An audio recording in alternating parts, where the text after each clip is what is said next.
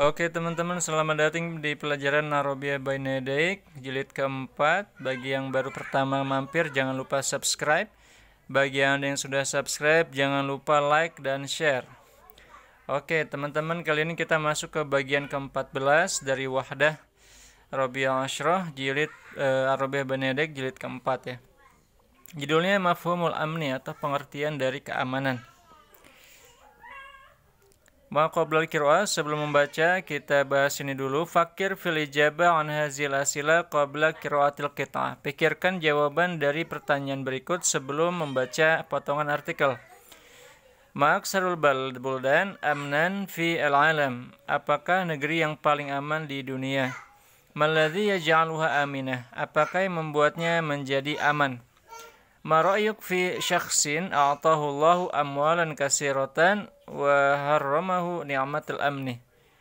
Apa pendapatmu tentang orang yang diberikan Allah harta yang banyak tetapi diharamkan atau tidak diberikan nikmat rasa aman? Mara'yuk fi syakhsin a'tahu Allahul mal.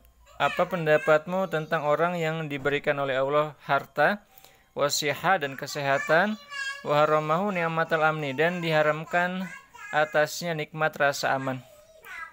Manhaku bil amni, siapakah yang lebih berhak atas rasa aman? Al mu'min awil kafir walimaza. Orang mukmin atau orang kafir dan kenapa?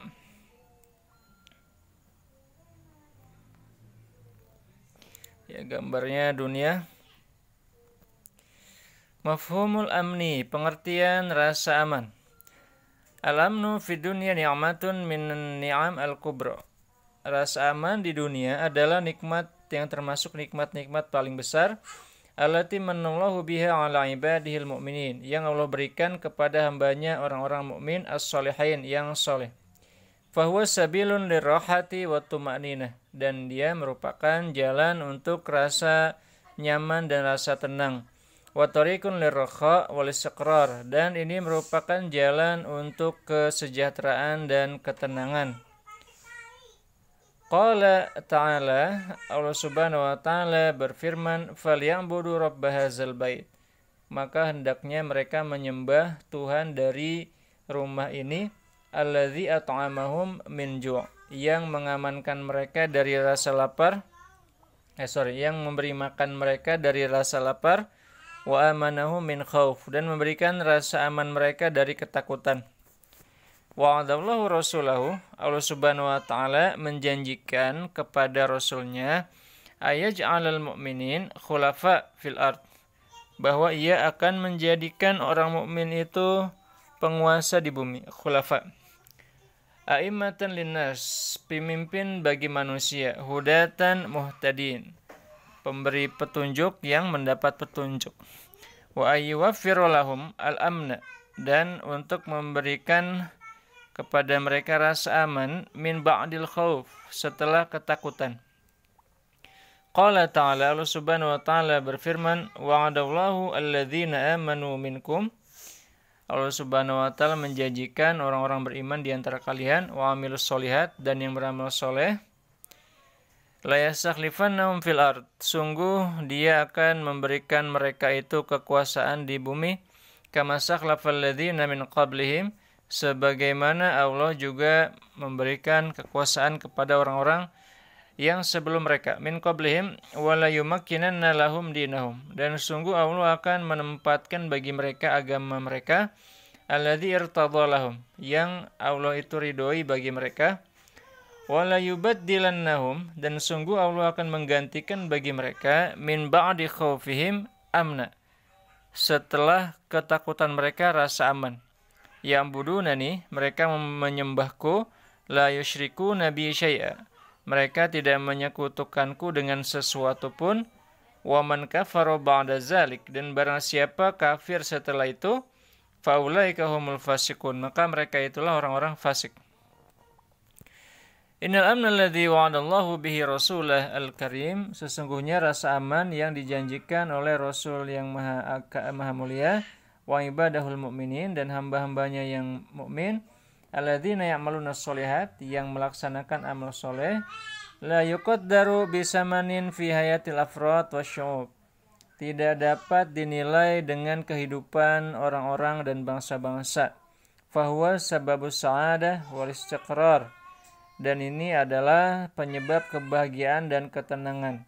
Qala ta'ala dan Allah subhanahu wa ta'ala berfirman, Wa daraballahu masala. Dan Allah membuat perumpamaan qaryatan kanat aminatan. Suatu kampung yang dulu tenang mutmainnah damai yatiha rizquha ragada. Rezekinya datang kepadanya dengan banyak. Min kulli makan dari dari seluruh tempat. Fakafarat bi an'amillah. Maka mereka kufur dengan nikmat Allah. Fazaqahallahu libasal ju' maka Allah memberikan kepada mereka pakaian kelaparan wal khauf dan rasa takut. Bimakan yasnaun terhadap apa yang mereka kerjakan. Haram Allah Subhanahu wa taala. Allah Subhanahu wa taala mengharamkan nafsal mukmin, jiwa seorang mukmin ala sahibiha atas pemiliknya. Wa ala ghairihi dan mengharamkannya atas selainnya minal bashar dari manusia. Maksud mengharamkan di sini adalah tidak boleh dibunuh ya. Jadi jiwa manusia itu haram, tidak boleh dibunuh oleh dirinya sendiri maupun oleh orang lain. Falyajuzu li'atida 'alaiha wa qatluha. Maka tidak boleh disakiti atas jiwa itu dan tidak boleh juga membunuhnya. Au izauha atau menyakitinya. Wa ja'ala uqubata man yaqtuluha annar dan Allah menjadikan akibat atau hukuman bagi yang membunuh jiwa dengan neraka fil akhirah di akhirat takriman wa siyanatan lihazihi an-nafsil basyariyah sebagai penghormatan dan penjagaan bagi jiwa manusia ini. Qala ta'ala Allah Subhanahu wa taala berfirman, "Wala taqtulun nafsan allati harramallahu illa bil Dan jangan kalian membunuh jiwa yang Allah haramkan kecuali dengan kebenaran. Wa qala ta'ala dan Allah Ta'ala berfirman, Walatulku biaidikum ila tahlukah dan jangan kalian melemparkan dengan tangan kalian sendiri diri kalian kepada kehancuran. Waqala Rasulullah dan Rasulullah SAW bersabda fi khutbatil wada' dalam khutbah terakhir perpisahan Ayuhan nas wahai manusia inna dimakum wa amwalakum alaikum haram. Sesungguhnya darah kalian dan harta kalian atas kalian haram. Kahurmati yaumikum haza. Seperti haramnya hari kalian ini fi syahrikum haza di bulan kalian ini fi baladikum haza di negeri kalian ini. Wa nafsul basyariyah dan jiwa manusia laha dawafi'uha lil khairi wasyar memiliki dorongan untuk kebaikan dan keburukan. Wahya bihukmin tabi'atiha dan dia dengan hukum tabiatnya tamilu ila ma tatmahu ilaih. Condong kepada apa yang dia berambisi kepadanya. Wa tatatallau ila ma lam tasul ilaih dan selalu melihat apa yang belum dicapai olehnya. Khairan kana aw syarran kebaikan ataupun keburukan. Wal amnu yartabitu ghaliban binaz'atil khair indal insan. Dan rasa aman berhubungan mayoritas kebanyakan dengan rasa kebaikan di dalam diri manusia. Wal jarimah dan dosa tertabit ghaliban biasanya berhubungan binazati syar dengan sifat keburukan dalam diri manusia. Indahu. Qala ta'ala dan Allah Subhanahu wa taala berfirman, "Wa nafsi wa ma dan demi jiwa dan apa yang dan demi jiwa dan apa yang disamakannya atau apa yang disempurnakannya oleh Allah.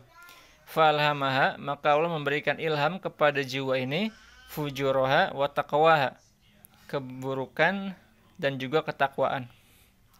Wal Islam lam yatruk sagiratan wala kabiratan min sulukil ibad dan Islam tidak meninggalkan yang kecil, tidak pula yang besar dari sikap seorang hamba. Illa wadu'alaha qawaid. Kecuali Allah letakkan baginya kaidah-kaidah dan dasar-dasar ususan tattafiq ma maslahati al-fardi wal jamaah yang selaras sejalan dengan kemaslahatan manusia dan juga masyarakat. Sawa'un akana hadza suluk ibadatan sama apakah ini berkaitan dengan uh, kepribadian berupa juga ibadah atau juga interaksi. Wa qarrara uqubatan dan Islam juga menentukan hukuman likulli fi'lin la yattafiq ma'a maslahatil jamaah. Setiap perbuatan yang tidak sesuai dengan kemaslahatan masyarakat, jamaah wal fard dan juga individu. Wa tahaqqaqa bidzalika al-amnu zati, maka dengan begitu terwujudlah keamanan yang sejati, keamanan yang mandiri, wal amnu fil mal dan keamanan dalam harta wal amnu fin nasal dan keamanan dalam berkembang biak. Wal air dan dalam kehormatan. Wal amnu fil muamalat dan keamanan dalam berinteraksi bermuamalah. Wal amnu fil hukuk al khassa wal amma dan keamanan dalam hak-hak pribadi dan umum. Wal amnu fi kasbil aish al halal dan keamanan dalam mendapatkan kehidupan yang halal Laqad Allah subhanahu wa ta'ala. Allah subhanahu wa ta'ala sungguh telah bihazal amni syamil dengan keamanan yang men, yang menyeluruh ini. Aroda menginginkan hayatan karimah, kehidupan yang mulia lil fardi bagi individu wal jamaah dan bagi jamaah. Hayatan mustaqirah dengan kehidupan yang tetap, aminah, yang damai, hadiah, yang tenang la yu'akhiruha sulukul abisin yang tidak diganggu oleh sikap-sikap orang-orang yang tidak ada nilainya. Abisin al munharifin yang melenceng wal mujrimin dan berbuat dosa. Faqarrar al-Khaliq dan Allah Subhanahu wa taala sang pencipta telah menentukan likulli amalin mukhillin setiap pekerjaan yang mengganggu bi amnil fardi wal jamaah yang mengganggu individu, keamanan individu dan jamaah, ukubatan rodi'ah. Hukuman yang keras. Liman la yamtasil li awamirillah. Bagi yang tidak menjalankan perintah Allah. Wala yantahi binawahi. Dan tidak berhenti pada larangan-larangannya. Wala yahris ala maslahatil jamaah. Dan yang tidak bersemangat untuk menjaga maslahat umum alati yantami ilaiha yang mereka bergantung kepadanya. Faja'ala dal kisos, maka Allah menjadikan hukuman kisos lil qatil al muta'ammid bagi seorang pembunuh yang sengaja. Qala ta'ala Allah Subhanahu wa taala berfirman, "Walakum fil qisasi hayatun." Dan bagi kalian dalam kisos itu ada kehidupan. Ya ulil albab, wahai orang-orang yang memiliki pikiran. La'allakum tattaqun. Mudah-mudahan kalian bertakwa. Oke, itu dia artikel hari ini. Terima kasih atas partisipasinya. Jangan lupa subscribe bagi yang belum, di like, di komen. Terima kasih. Sampai jumpa di pelajaran selanjutnya. Tetap semangat. Wassalamualaikum warahmatullahi wabarakatuh.